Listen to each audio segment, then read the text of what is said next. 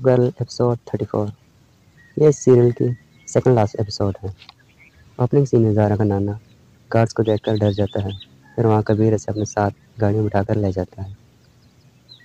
जोहरी ज़ारा के पास बैठा होता है। इन दोनों के दरमियान बातचीत होती है। फिर वहाँ एक आदमी आकर कहती है कि साईं, शाम को आपसे मुलाकात करेंगे।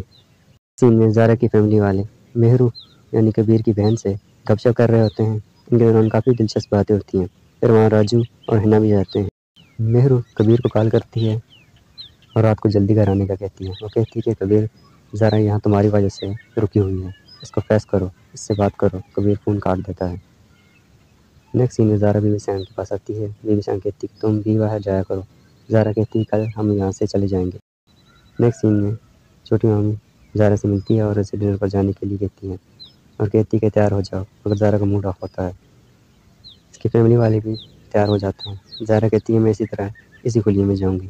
और यहाँ कोई मंगनी वगैरह नहीं हो रही। आप ज़्यादा एक्सपेक्टेशन ना रखें।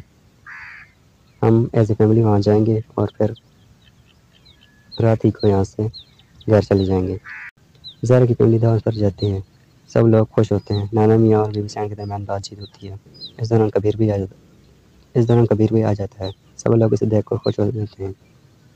कबीर वहाँ कुछ देर रुका। रहता है, फिर वो जाने लगता है, मगर ज़ारा माइक उठा लेती है। वो कबीर से कहती है कि तुम्हारे पास मेरे लिए वक्त ही नहीं है, तुमने मेरी बात ही नहीं सुनी। अगर तुम्हारे पास दस मिनट होते तुम मेरी बात सुन लेते।